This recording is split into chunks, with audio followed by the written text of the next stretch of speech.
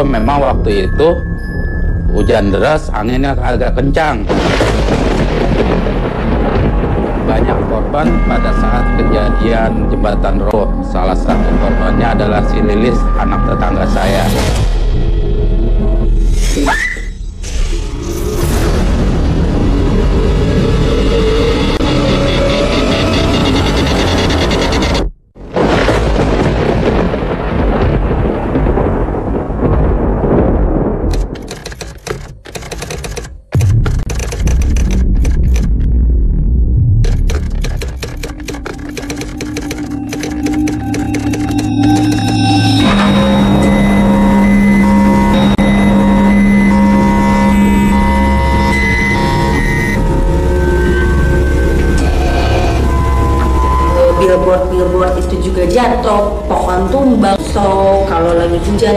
besar, angin dan lain-lain, prefer memang untuk tetap stay di kantor ataupun di rumah atau mungkin di mall dan lain-lain.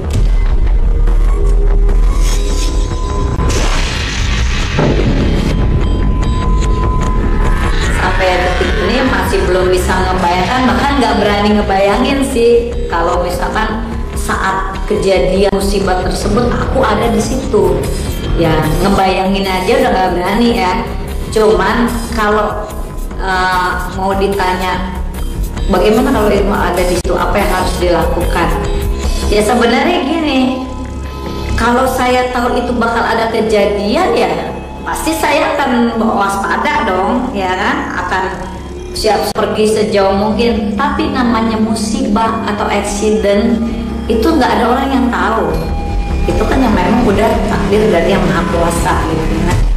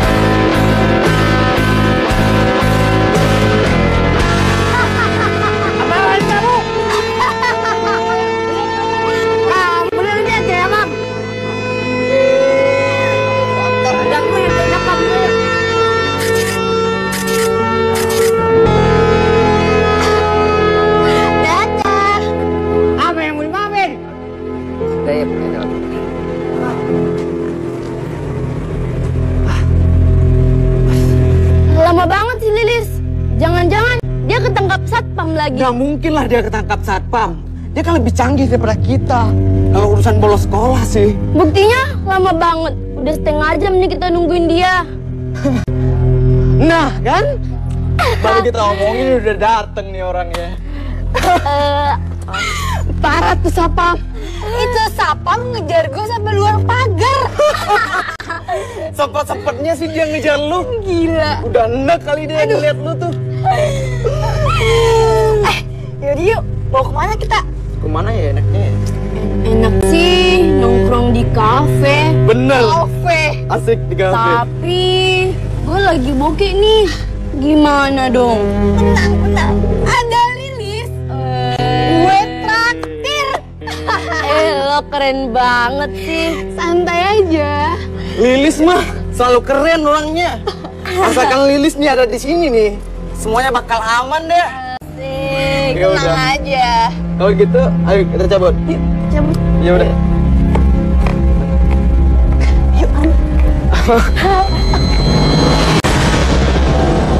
Saya punya warung nasi di pasar minggu. Posisinya nggak jauh dari jembatan yang roboh. Kejadiannya kira-kira sebelum maghrib. Waktu sebelum jembatan roboh, memang waktu itu hujan deras, anginnya agak kencang. Banyak korban pada saat kejadian jembatan roboh. Salah satu korbannya adalah si Lilis, anak tetangga saya.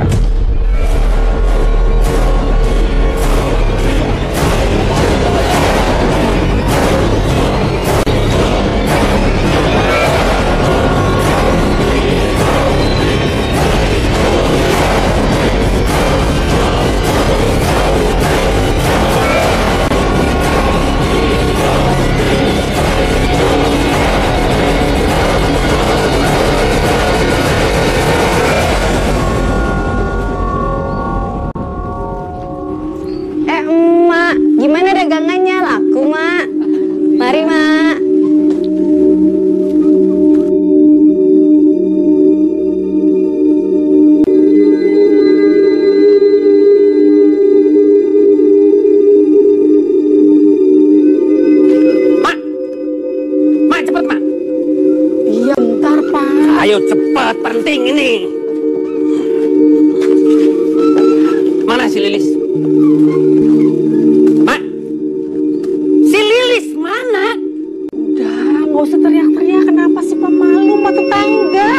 Lagi ini kan jam sekolah ya si Lilis belum pulang sekolah lah. Jam sekolah apaan jam sekolah? Harusnya dia sudah pulang sekarang. Mana tuh anak? Nah ini dia. Eh,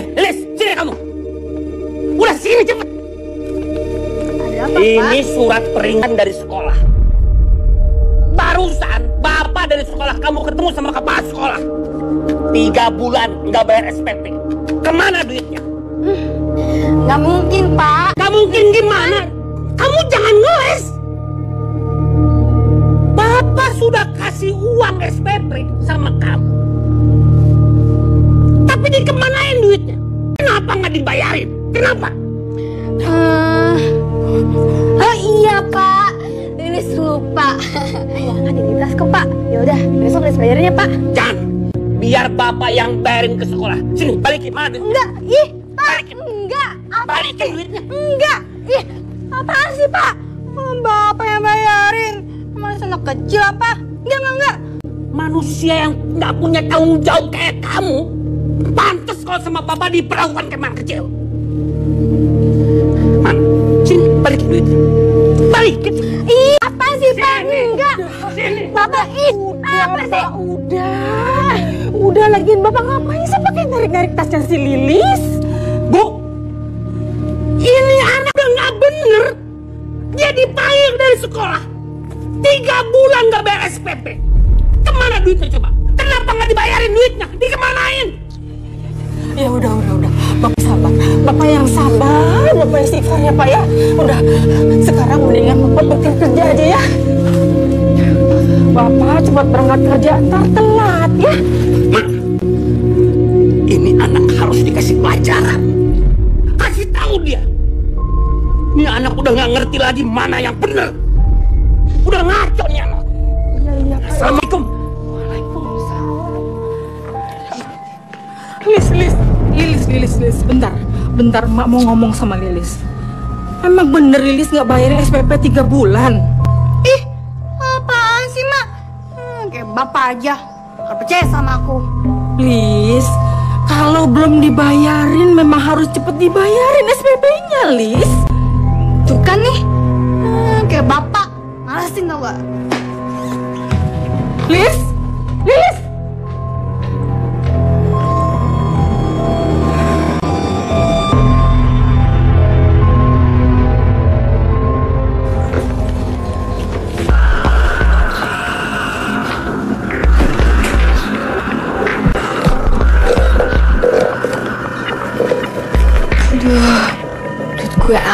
Lagi. Udah gue terlanjur janji sama Dina lagi. Gimana? Halo? Iya, iya, tunggu. Iya, lagi gue OTW. Tunggu aja. Oke, dah.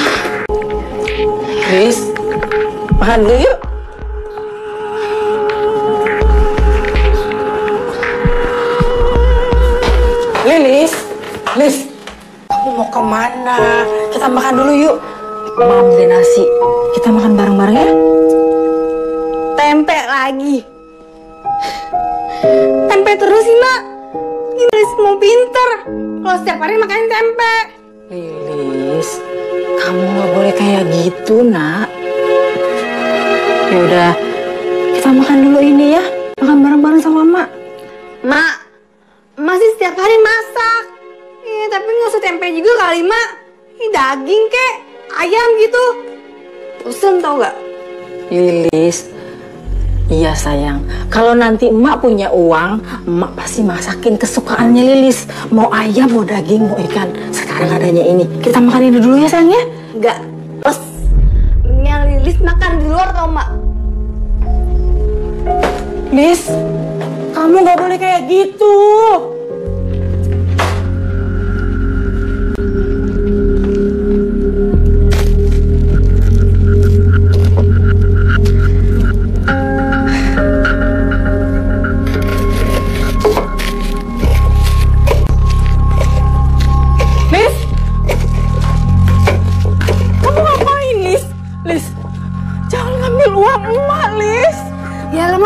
Banget sih sama anak sendiri juga. Lis, Lis, Lis, kalau kamu ambil itu mbak nggak bisa jualan, Lis. Ya elah mah cuma segini aja, udah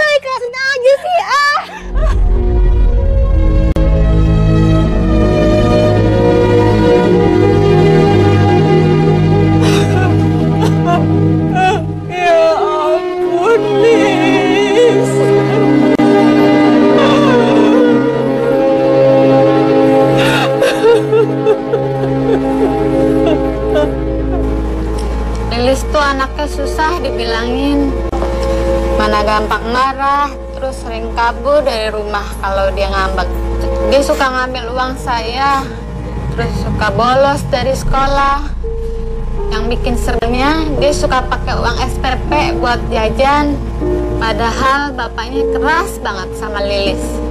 Tapi dia tuh kayaknya nggak takut sama bapaknya.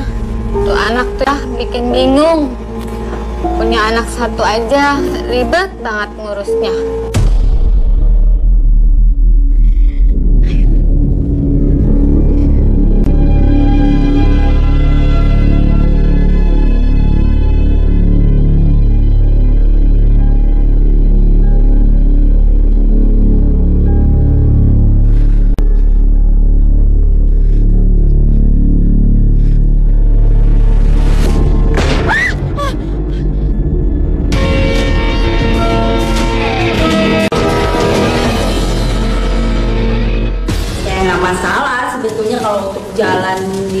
apa kayak tempat-tempat penyebaran itu selagi aman dan kalaupun memang rusak eh, segera ke pemerintah untuk bisa eh, apa eh, membetulkan eh, jalanannya.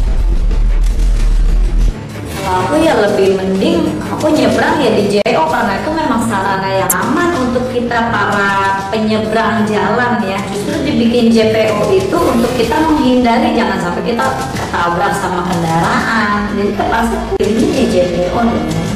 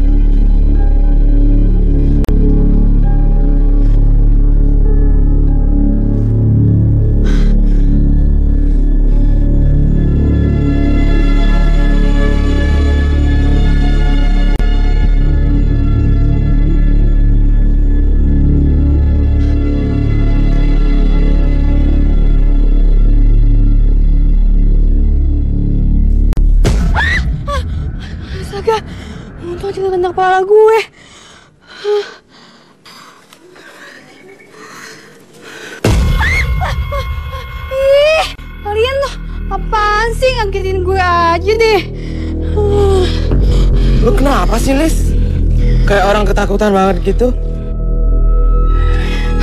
Nggak tahu ya, perasaan gue dari tadi nggak enak banget. Kayak ada yang ngikutin gitu. Tapi nggak tahu siapa. Mana tiba-tiba nih batap mau jatuh lagi. Hampir aja kena kepala gue. Oh, gue tahu nih. Lu lagi diikutin sama malaikat pencabut nyawa ya? Biasanya tuh, kalau orang yang mau meninggal selalu diikutin. Den, lo jangan angkutin gitu dong. Tahu nih Deden, bukannya nenangin malah bikin tambah panik aja. Ya deh, sorry sorry. Gue cuma bercanda doang kok. Lagian emang bener. Kalau malaikat pencabut nyawa itu selalu ada di samping kita, Lis. Udah, udah, jangan bicara gitu lagi dong. Mendingan kita cabut aja. Lis, lo udah bawang kan? Beres. Yuk.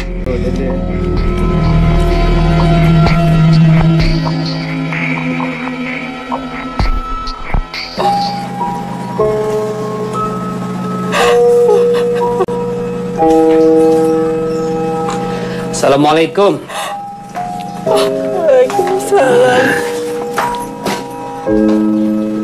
Kenapa, Mak?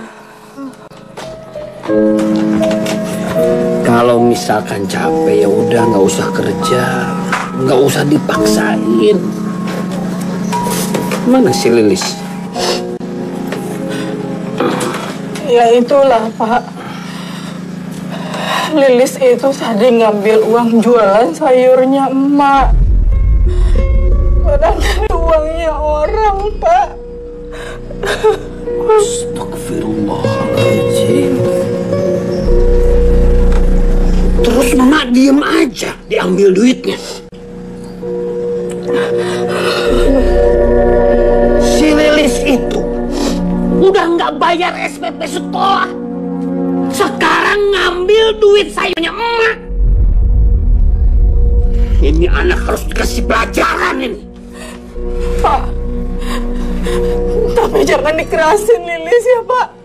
Bapak kan tahu Lilis gimana. Ntar dia kabur dari rumah Pak. Ya udah mak tenang aja. Biar si Lilis ini bapak yang urus. Bapak tuh cuma mau nih anak perempuan jadi anak yang baik. Karena ini tanggung jawab bapak.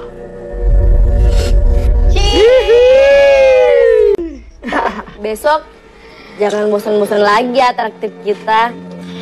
Tenang. Selagi lo lo masih sama gue, buat makan ini doang sih. Kecil. Memang lu keren banget.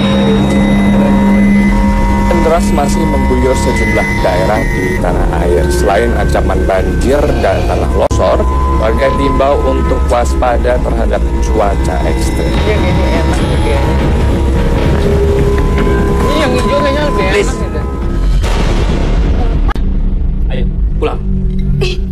apaan sih Pak? Orang Lilis mau belajar kok sama teman-teman Lilis. Ih, Kamu jangan bohongin bapak ya. Sekarang juga kamu pulang. Ayo. iya udah iya, tapi nggak usah narik-narik Lilis kayak gini juga dong Pak. Ih, Ayo pulang. Pak, ih, Pak, ih.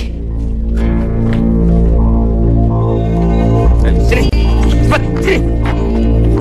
Sini.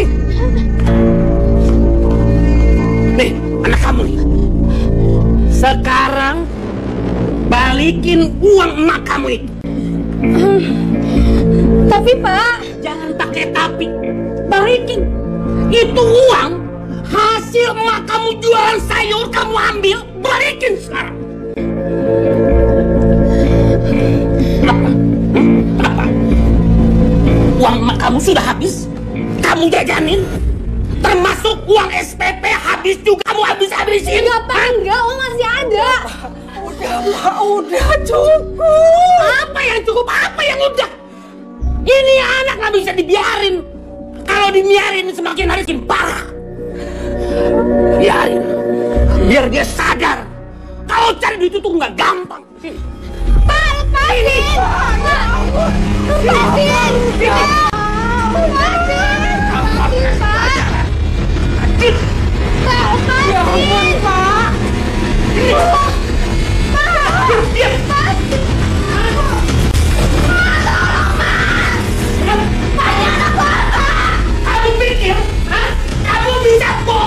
menerus sama orang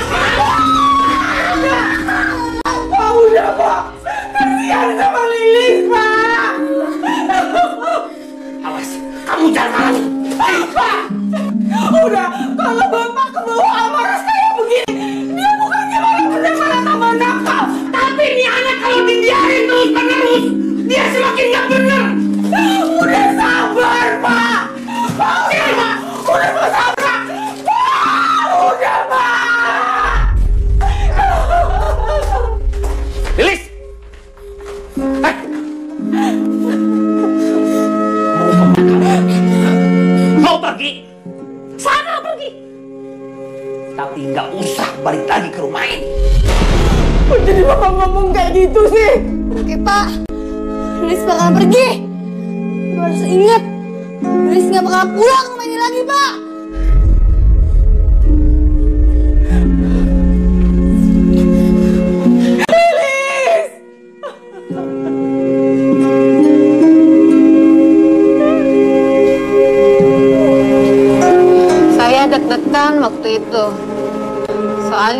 Bapaknya marah tuh kasar banget. Udah si Lilis nggak bisa dibilangin. Tapi untunglah bapaknya nggak ngajar Lilis. Cuma saya punya firasat nggak enak waktu itu. Lilis kayak pamitan sama kita kalau dia nggak akan pulang lagi.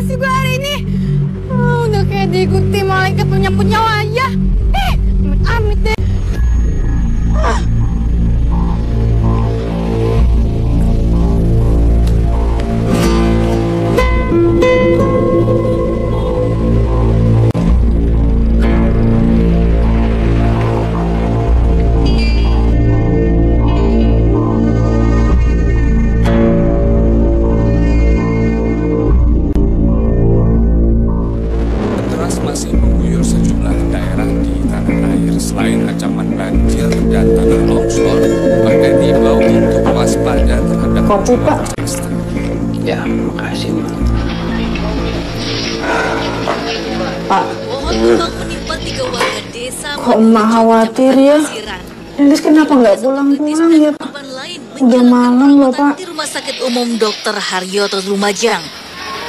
Kejadian bermula saat kendaraan yang ditumpangi ketiga kan. korban melintas jalan Panda di TV deh. angin kencang. Di luar ya cuaca lagi nggak bagus Pak. Bang, menimpa ketiga korban hingga mengalami Ma tenang aja kenapa sih? Kalau emang ntar hujan, anginnya gede. Lilis itu kan bukan anak kecil lagi.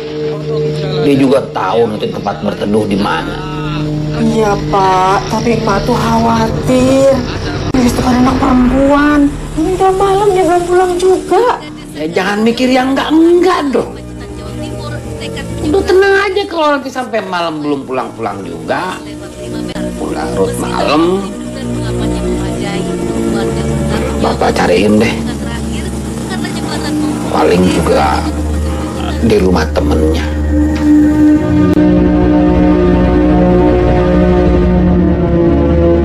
Biasanya jembatan Pasar Minggu itu kalau hujan banyak orang neduh di bawahnya. Tapi saat itu nggak sebanyak seperti biasanya. Tiba-tiba saya kedengeran suara kedubrak. Astagfirullah, saya kaget. Saya langsung keluar. Pas saya lihat itu jembatan Pasar Minggu roboh.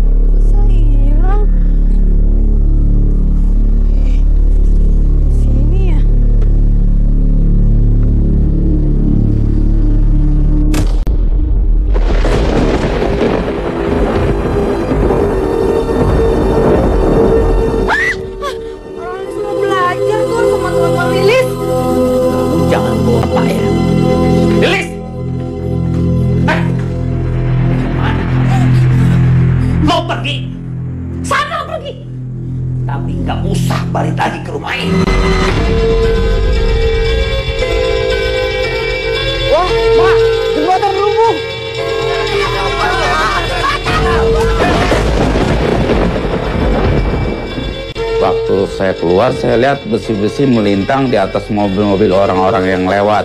Terus saya lihat juga ada orang yang jatuh dari jembatan. Ya Allah.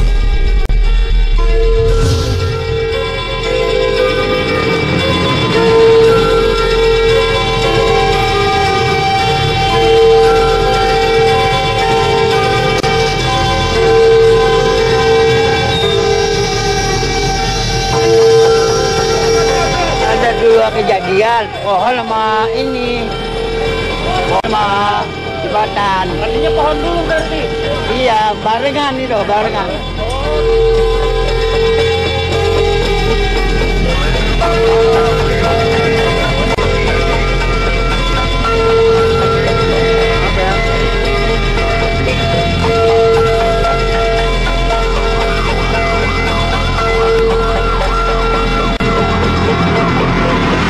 Saya keluar langsung ke TKP bersama istri saya. Pas saya lihat nggak taunya ada si Lilis. Langsung saya suruh bawa pulang ke rumahnya si Lilis karena saya mau bantuin korban yang lain.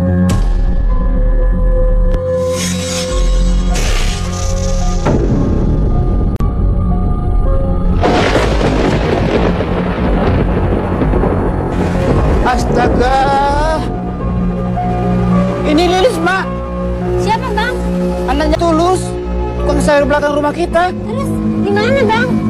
Lis, Lis, Lis, bangun Lis. Oke, oke. Gini aja, Mbak. Mama bawa Lilis pulang rumahnya. Biar saya bantu yang lain.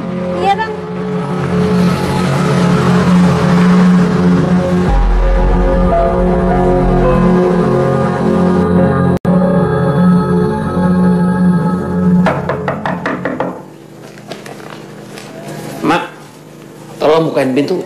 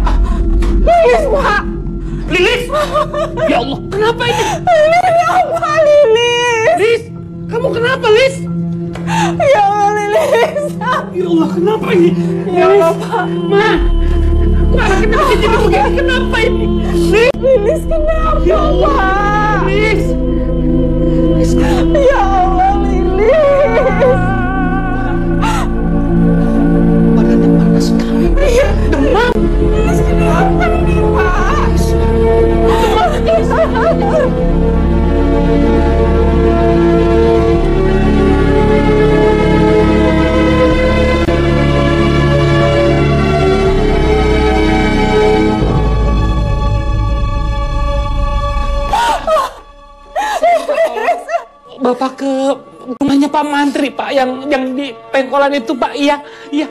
Bapak tolong Pak Mantri bawa ke sini, Pak ya. Ya, Mbak. Ya, Mbak. Cepat, Bang, em, tolong Bang ya. Ya, Mbak. Bu, kenapa anak saya kok bisa begini? JPO pasar minggu roboh pak. Tadi Lis ada di sana. Ya Allah, Lilis. Lilis bangun, Pak. Mak, tolong Mak. Minyak angin, minyak angin.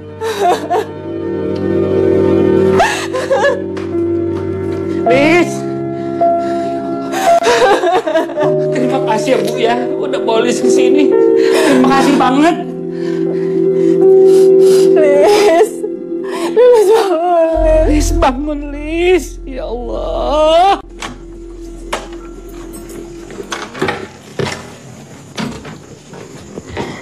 Aden? Dina? Gue jijik sama Lolis. Hah? Maksudnya? Udah lah, Lis. Mulai sekarang, lu jangan temenan lagi sama gue dan Dina. Lo itu bohong tau gak? Aden! Dina! Lo kenapa sih?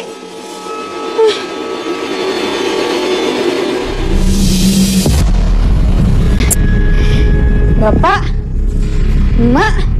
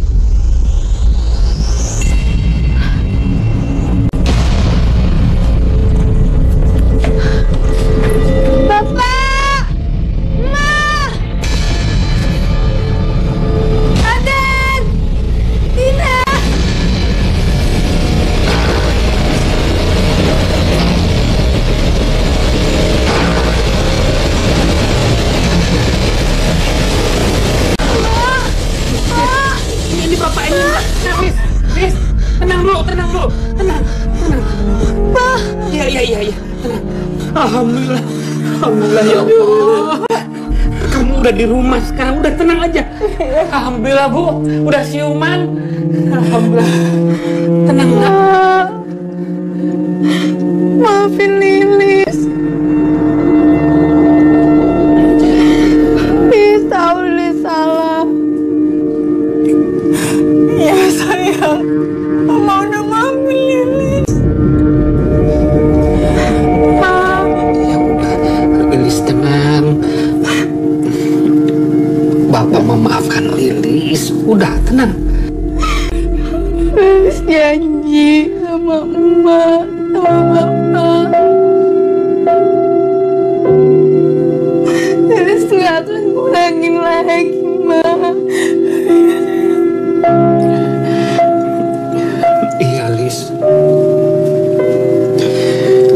Bapak juga minta maaf sama kamu. Bapak selama ini terlalu keras sama kamu, Lis. Tapi terus terang, Bapak itu kepengen kamu itu jadi anak yang baik. Bapak sama emak nggak mau kalau Lilis itu salah jalan. Iya, Pak. Ma, Pak. Lilis mau kerja. Lilis mau gantiin uang Ma semuanya yang udah pernah Lilis pakai. Gak usah sayang, kamu usah pikirin itu dulu. Yang penting. Mas sama Bapak udah senang, kamu udah kembali ke rumah. Tenang aja, jangan banyak pikiran ya mak ya. Udah tenang aja. Lilis sampai sekarang udah selamat. Kita udah ngumpul lagi, alhamdulillah. Bu, Maafin Lilis.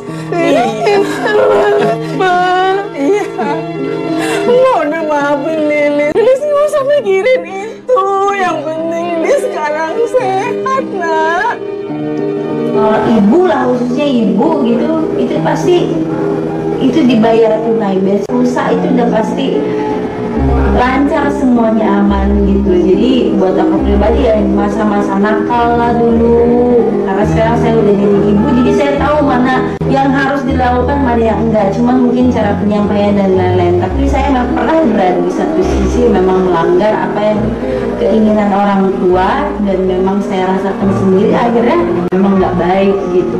Namanya proses anak kecil ya pertumbuhan anak dari kecil sampai remaja sampai dewasa itu ada masa-masa di mana anak seorang anak itu agak-agak uh, bandel lah ya kalau boleh dibilang gitu. Terus agak-agak gimana sih? Kadang kalau orang tua suka ngebantah itu sih prosesnya sih kalau menurut aku. Nah uh, dengan aku dengar kan katanya dia menjadi salah satu korban terus jadi yang tadinya menjadi anak yang bandel di keluarganya tapi sekarang setelah dia menjadi korban tersebut berubah total sifatnya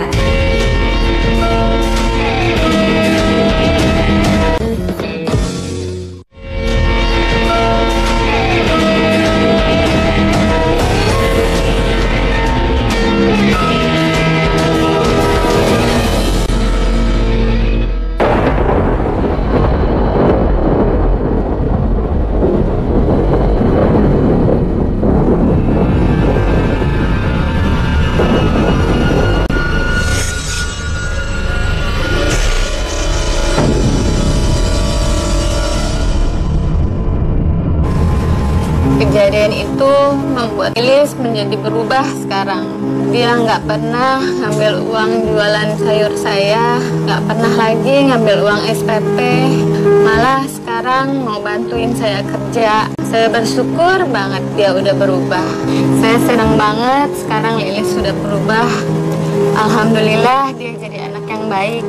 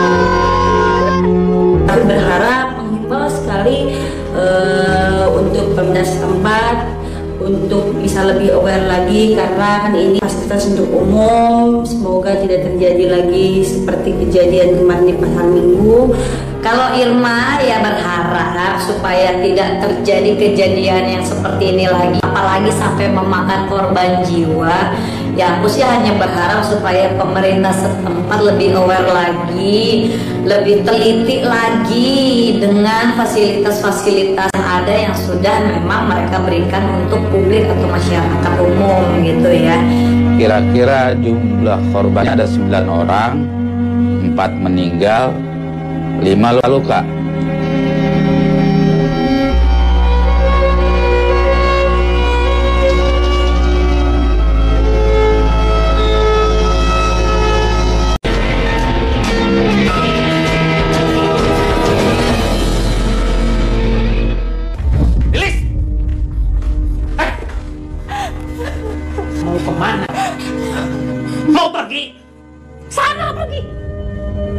Tapi nggak usah balik lagi ke rumah ini.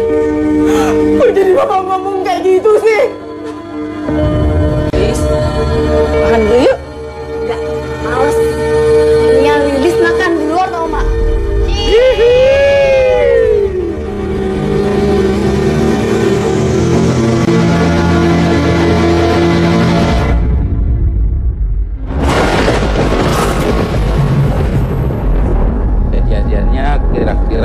sebelum maghrib Waktu sebelum jembatan roboh memang waktu itu hujan deras anginnya agak kencang.